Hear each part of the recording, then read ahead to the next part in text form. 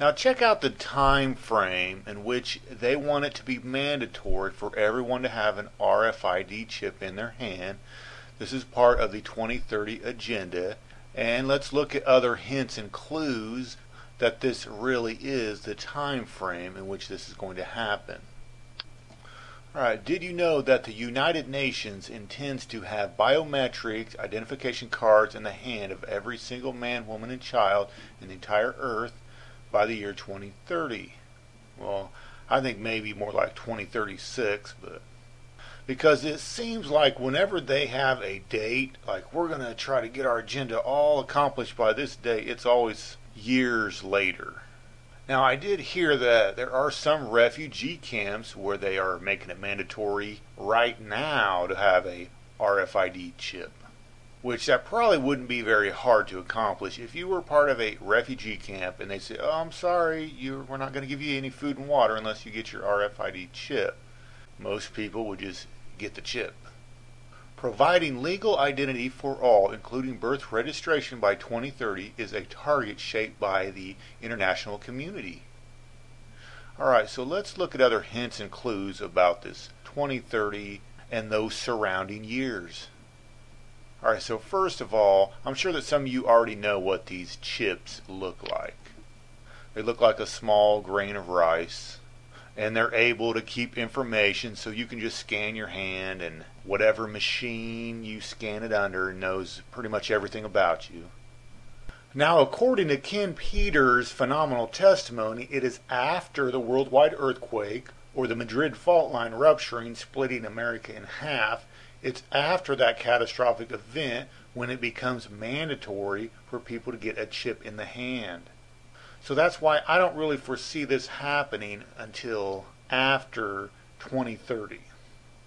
All right, so first thing you have to remember Ivanka Trump in 2028. The Simpsons have already revealed who is coming into office in 2028. And I absolutely believe this is the last president. Simpsons also reveal around the year 2031, it actually says the year 2031 and involving World War China. So that means under Ivanka's administration, there's probably going to be martial law and there's probably going to be a lot of troops being deployed all over the world.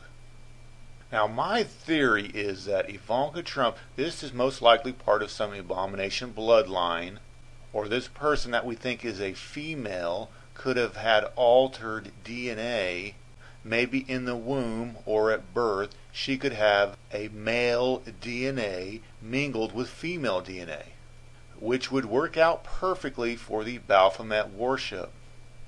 So if Ivanka Trump is actually being portrayed in The Simpsons as Lisa in the future as a president, and she talks about how they inherited a budget crunch from President Trump, that would mean around the year 2026 or 2027 is when we should expect to see some kind of big stock market crash or financial turmoil.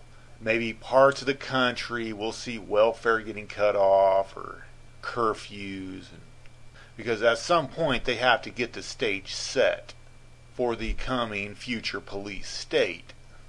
But anyway, if you really want to know the time frame in which the end time picture or scenario is going to really start to unfold, uh, it's probably around the year 2028.